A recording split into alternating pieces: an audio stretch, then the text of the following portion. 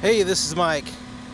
Before I get started, please, if you haven't already, hit the subscribe button. Go ahead and subscribe to my channel because I have hundreds of videos that I think you'll enjoy and will be useful to you uh, of all different makes and models. So if you could, go ahead and subscribe now. All right. Now, I am at Sparks Toyota in Myrtle Beach, South Carolina, and they are allowing me to show off this 2015 Toyota Yaris. And right off the bat, I just want to let you know, full disclosure, I am a sucker for small cars.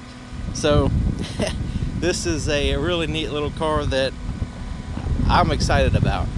And it's a, it's a very simple design car. It's not a, you know, elaborate, uh, like an Avalon or anything like that. But this is a really good, uh, comes in at a pretty good price and great fuel efficiency.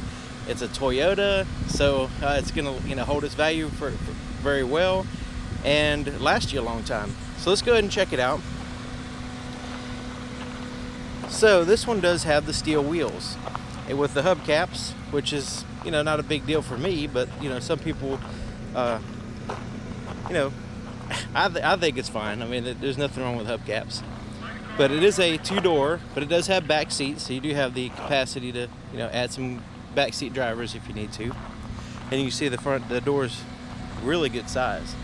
It's actually bigger than the door on my car. But anyways, um, let's take a look here in the front. It does have the reflector halogen headlights.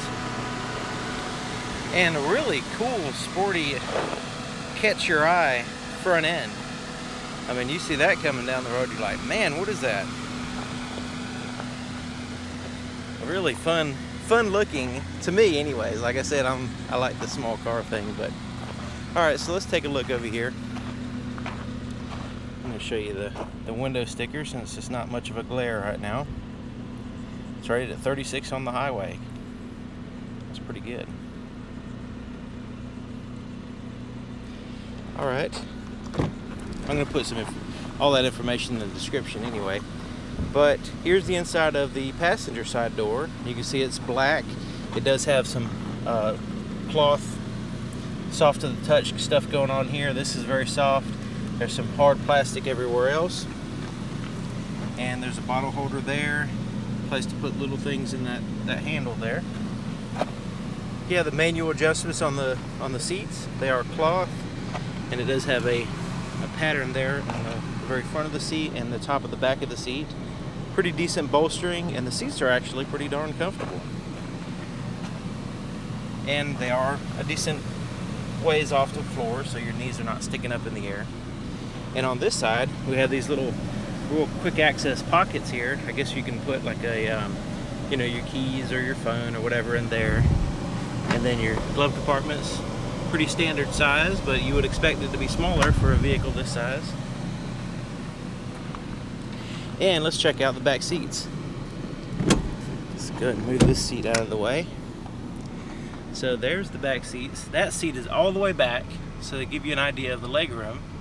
You do have some speakers back there, and it looks like you can fit three fairly small people, I guess, not anybody my size, in the back.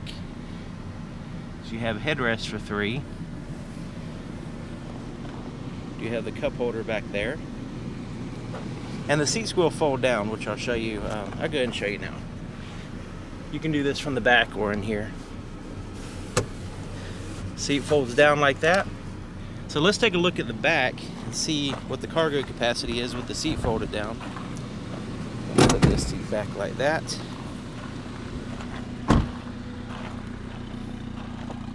So here's the back. Got the little windshield wiper there.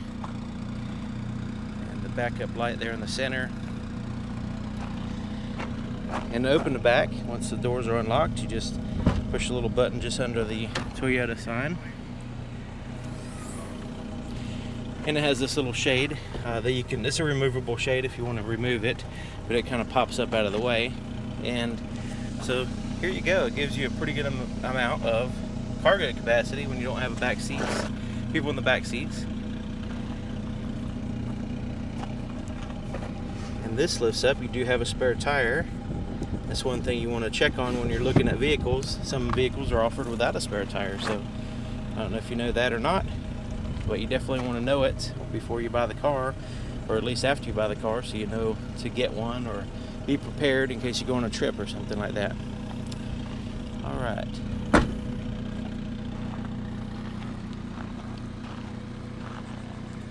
And it's interesting. Uh, this vehicle is the, engine and transmission is from Japan, but it's assembled in France. So that's interesting. All right, so let's go ahead and look in the, the gas cap. The gas uh, door is on the driver's side, which is always convenient, and that's my preference. Let's take a look in here. All right, so there you go. You have a um, just a regular fuel cap uh, that's removable. Now it is tethered by this string here and it does have a little place for the string to hang on. So when you remove the cap, you don't have to just let it hang down and scratch your paint. You do actually have a little spot there to hang it. Just got to remember to, use it, that's all. all right, let's take a look under the hood and look at the 1.5 liter four cylinder. Hopefully it's not too covered up with plastic. I like to see the engine.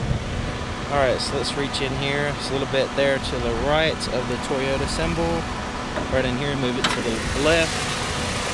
There's the latch. And there is the 1.5 liter. It's a little bit covered up with plastic, but you can get to see a little bit of the engine, so that's cool.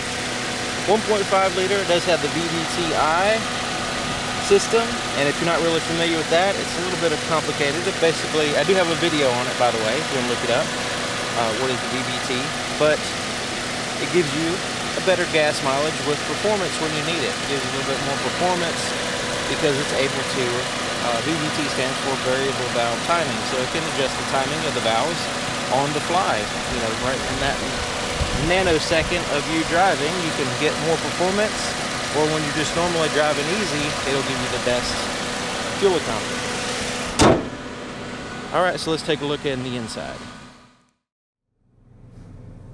All right, here we are on the inside. And plenty of leg room, knee room. It's surprisingly roomy. I mean, I mean, of course, when you put the back seat all the way back, it's you know not so roomy for the back seat drivers. But hey, it's um, it's all about the driver, right? So, just looking at it, it is a. This is not a bells and whistles vehicle.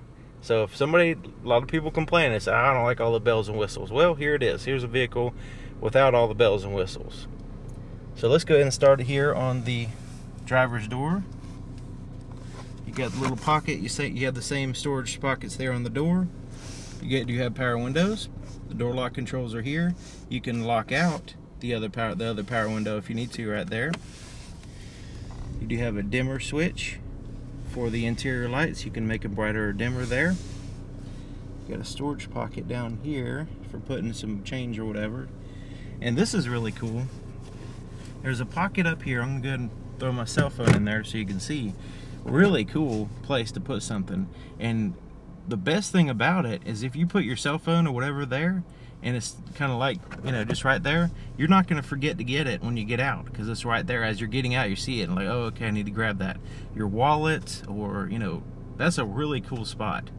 And uh, so i don't know like my phone's a little bit big but it still fits in there pretty good.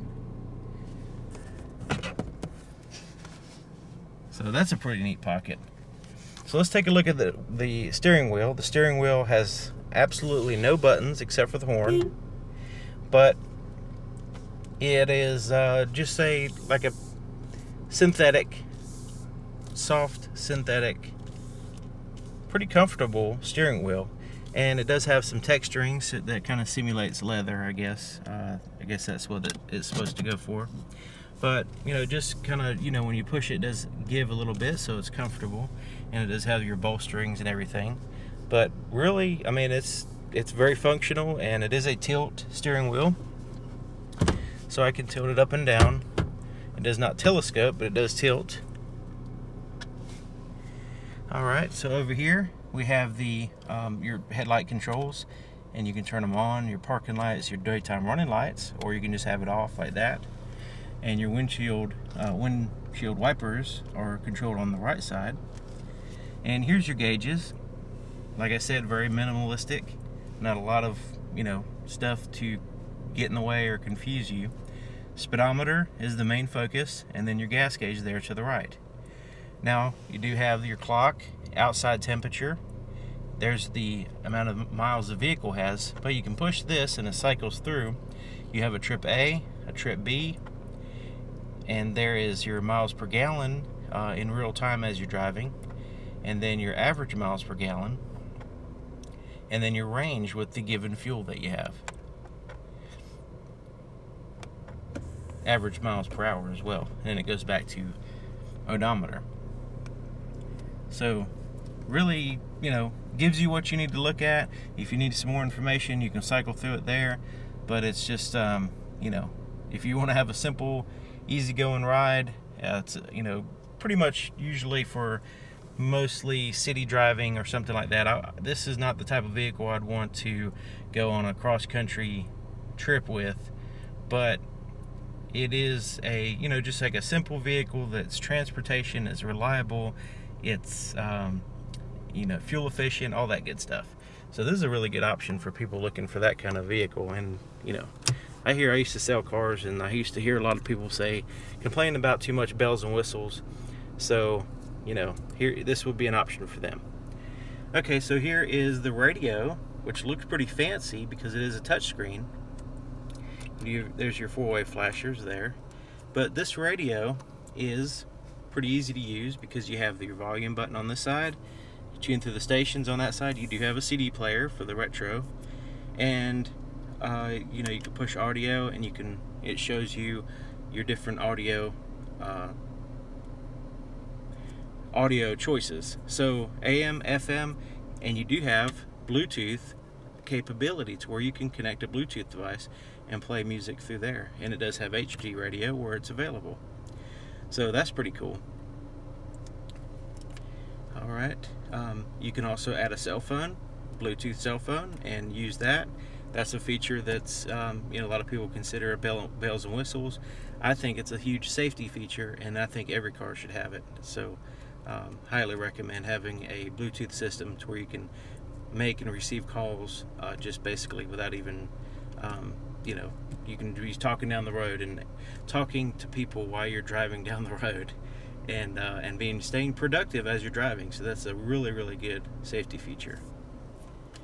All right, um, so your apps is not installed on this particular thing, and I'm not sure if that's something that you can add. If the dealer can add that for you, if you really wanted to, like uh, navigation and stuff. But as of it sits right now, it does not have it. All right. So let's look down here and this is your climate control buttons. Very simple. Where you want the air to blow, the fan speed, and the temperature. That's all you have to look at. I mean it's not not anything complicated there. And that's what you know, that's what you not everybody wants complicated stuff. So here is the Bluetooth, I mean the USB and auxiliary input for the radio. So not only do you you have the ability to play through the Bluetooth system, but also you can plug in a flash drive there and play music right off of that. You can put thousands of songs on there. And also an auxiliary input for any, any pretty much anything that plays audio, um, you can put it in there. You do have a 12 volt power supply there on the left. You have some cup holders and a little storage pocket there for you know everybody needs cup holders while they're driving. That's actually a safety feature i think too because you don't want to be fumbling around with your coffee as you're driving. You want to have a nice comfortable uh, easy place to put it um, you know so that's another safety feature. Okay so here's your shifter and it's kind of like a labyrinth i guess going down all these different steps. But putting in reverse this one in particular does not have a backup camera so nothing like that pops up but you go down here to neutral, then drive. Actually, the drive is right here, and this is what I wanted to point out. Um, it's real easy to just accidentally put it in third gear by you know just putting it down. So you want to make sure that when your drive position is there to the right, because um, if you want to downshift, you can go down to third, second, and then first. It is a four-speed transmission, so that's first, second, third, and then that's all your that'll cycle through all your gears there And you know, if you're going down a steep hill or something, it is handy to downshift. That's why they have that. But just make sure that um, you know when you drive the car, you just put it in drive and not actually third gear, because you will probably get some bad gas mileage and you know not very good. Go go as fast as you can. All right, so here's your parking brake. Pretty uh, standard, you know, just jerk it up, and there is a. This vehicle has traction control, and it will automatically turn on when you when you turn on the vehicle. But if you ever get stuck in the snow or sand or you know mud or whatever, you can always turn that feature off if you need to spin tires. And then basically, it's not going to allow you to spin tires with it on. So that's the ability to turn it off. Then you got some quick access uh, storage pocket there. That's a really good spot to put a phone. Looks like, and then you got this massive cup holder there for the for anybody in the front or the back can reach that one. All right, let's take a look at the rear view mirror. It does have the day and night mode, the standard manual flippy thing. And you have some lights up here, quick access lights. And you can make them to where they turn all on with this button here. The center position is only for if you want them to turn on with the door open and then turning them off, uh, well, even with the door open, they won't turn on. All right, and you do in the visors, you do have mirrors that slide open on both sides you do have airbags all the way around, side curtain airbags, and you know all kinds of airbags. So let's take it, take a look at the visibility out of the back window.